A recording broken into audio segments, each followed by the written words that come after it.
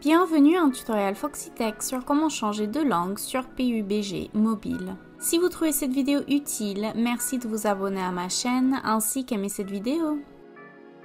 Dans le tableau de bord principal, appuyez sur le bouton d'une flèche vers le haut, en bas à droite pour ouvrir le menu, puis sélectionnez Réglages.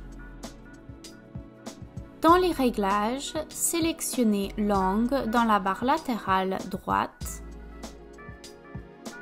Dans les paramètres de langue, vous pouvez modifier la langue de l'interface, la langue du chat et la langue du matchmaking.